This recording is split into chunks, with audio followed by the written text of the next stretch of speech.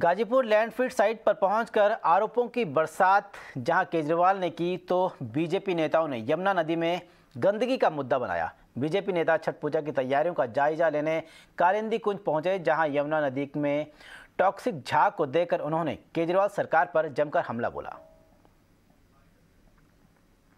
देखिए, ये गंदगी का हालात देखिए, अरविंद केजरीवाल जी करोड़ रुपया उनके मंत्री खा गए।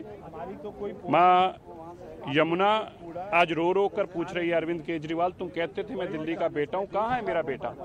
इतना जहरीला पानी बना दिया आप, ये देखिए आप, इसको बचाने के लिए बात का मुद्दे को दबाने के लिए जो करोड़ों रुपए का भ्रष्टाचार इसमें हुआ है आज वो लैंडफिल की तरफ़ चले गए। नौ साल से आप मुख्यमंत्री हैं। आठ आठ साल तो उनको पूरे हो गए हैं। आठ साल से आप चुप क्यों थे? क्योंकि आपको पता था एमसीडी अच्छा काम कर रही है। एमसीडी उस, उसमें से खाद बना रही है उसमें से एमसीडी बिजली बना रही है। और ये लैंडफिल साइट तो पूरे देश और दुनिया में है लेकिन ये गंदगी पूरी दुनिया में कहीं नहीं है। तो दिल्ली की कोड़ा पॉलिटिक्स पर ज़्यादा अपडेट लेकर दिल्ली से जुट रही हमारी सहयोगी प्रीति। निकी प्रीति, बताएँ क्या अपडेट है? दिल्ली में कूड़ा है या कूड़े में दिल्ली? ये सवाल बहुत बड़ा है। ये सवाल इसीलिए क्योंकि दिल्ली को तीनों तरफ़ से कूड़े के बड़े बड़े पहाड़ों ने घेर रखा है।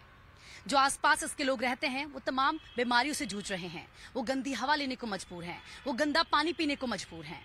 उनके स्वास्थ्य पर इसका असर पड़ रहा है। जी हाँ और इसी बात को अरविंद केजरीवाल, दिल्ली के मुख्यमंत्री बखूबी जानते हैं। वो जानते हैं कि लोग परेशान हो चुके हैं और आज इसीलिए खुद सीएम गाजीपुर लैंडफिल साइट पर पहुँचे, जहाँ पर वो पहुँचे मनीष सिसोदिया के साथ। और उन्होंने मैसेज दिया दिल्ली की जनता को कि इस बार जो चुनाव होगा एमसीडी का, वो इसी मुद्दे पर लड़ा जाएगा। उन्होंने बीजेपी को कटघरे में खड़ा किया। उन्होंने बीजेपी से पूछा कि आप बताइए एमसीडी आपके अंदर आती है? आपने क्या किया है? उन्होंने कहा कि मैंने बीजेपी के नेताओं से पूछा कि आपने क्या दिया है दिल्ली को? तो उन्होंने सर झुकाकर कहा कि दिल्ली को सिर्फ़ गंदगी दी गई है।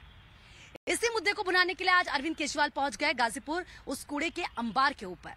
जी हाँ दूसरी तरफ़ बीजेपी अरविंद केजरीवाल को घेर रही है। आम आदमी पार्टी को घेर रही है, वो ये कह रही है कि आप ये बताएँ कि यमुना का हाल क्या है? क्योंकि यमुना में झाग जिस तरीके से निकलता है, छठ व्रतियाँ वहाँ पर जाती हैं, छठ पर्व की शुरुआत होने वाली है, और ऐसे में वो उस जहरीले पानी में खड़े होने को मजबूर होती है। पानी इतना गंदा है, पीना तो बहुत दूर की बात, आप उस पानी से नहा भी नहीं सकते हैं। दरअसल आप समझिए कि उन्नीस सौ चौरासी की बात है, जब ये बड़े बड़े कूड़े, जो कूड़े के अंबार हैं, जो गाजीपुर का, जो कूड़े का पहाड़ है, उसकी शुरुआत हुई। कूड़ा वहाँ डालना शुरू किया गया। 2002 में उसका निस्तारण करना था, सरकार एक समय निर्धारित करती है, लेकिन ऐसा हुआ नहीं। 2022 खत्म होने वाला है। 2023 में हम प्रवेश करने वाले हैं, लेकिन समस्या जस की तस है। पहाड़ ऊँचे के ऊँचे होते चले गए। गंदी का वहाँ पर अंबार लग गया, लेकिन हुआ कुछ नहीं। दिल्ली, वो गंदी हवा में सांस लेने को मजबूर है। और इसी बात को समझते हुए, इसी बात को जानते हुए अरविंद केजरीवाल आज उस गाजीपुर, जो कूड़े का अंबार है, पहाड़ है उस पर पहुँचे और उन्होंने मैसेज दे दिया कि इस बार का चुनाव इसी मुद्दे पर लड़ा जाएगा। आगे देखना होगा कि दिल्ली की जनता क्या कुछ चुनती है। फैसला तारीख के साथ होगा, लेकिन फ़िलहाल कैमरामैन तनवीर के साथ मैं प्रीति नेगी।